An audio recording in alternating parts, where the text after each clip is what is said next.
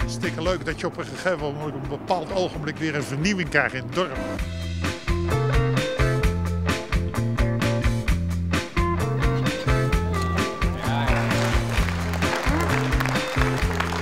We zijn uh, blij vanuit uh, de stichting Leefomgeving met de bestemming die het krijgt. Het heeft wat voet in de aarde gehad, maar uh, ik ben er toch wel heel blij mee dat we nu hier staan om inderdaad de cheque namens de stichting te mogen overhandigen. Wat we eigenlijk willen is dat er een, een, dorpshuis komt met daar allerlei voorzieningen in voor de inwoners van Zwanenburg. Daarin komt ook een sporthal.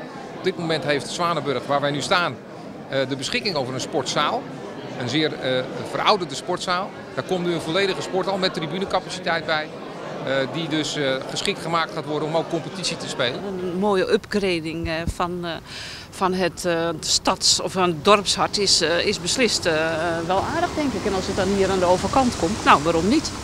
Ik hoop dat we toch wel binnen twee jaar aan de slag kunnen, zodat we echt daadwerkelijk aan het dorpshuis kunnen beginnen. Er zijn nog wel wat dingen op te lossen, maar goed, ik ga ervan uit en ik ben optimistisch gestemd dat dat ook snel kan gebeuren.